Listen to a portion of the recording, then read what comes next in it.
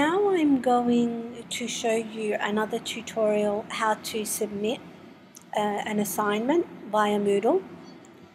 Uh, so I've logged in as a student. I go to the dashboard. I've done this in order so the desktop is similar to your desktop. If I log in as an instructor it might be a little confusing because our desktops will look different. So this is the first activity I want you to complete is introduce yourself, upload a video or an audio. And the other activity that I want you to complete is the note taking. So I want you to summarize uh, chapter 31.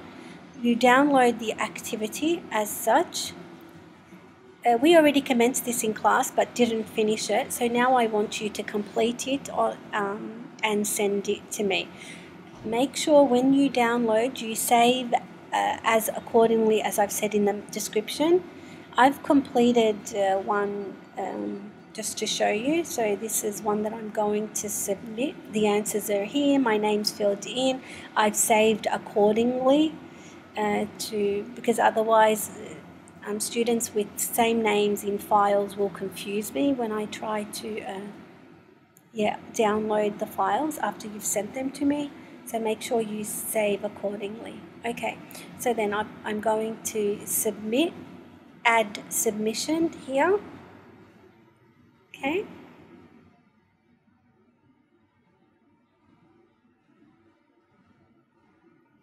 Okay, and here is where I will, you can drag and drop if you can do that, or you upload the file.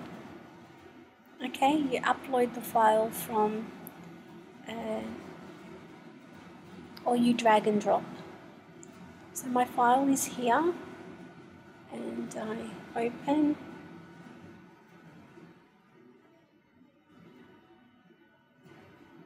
Okay and it's the chapter 31 um, review and note taking okay? And I'm going to upload this file. Alright and then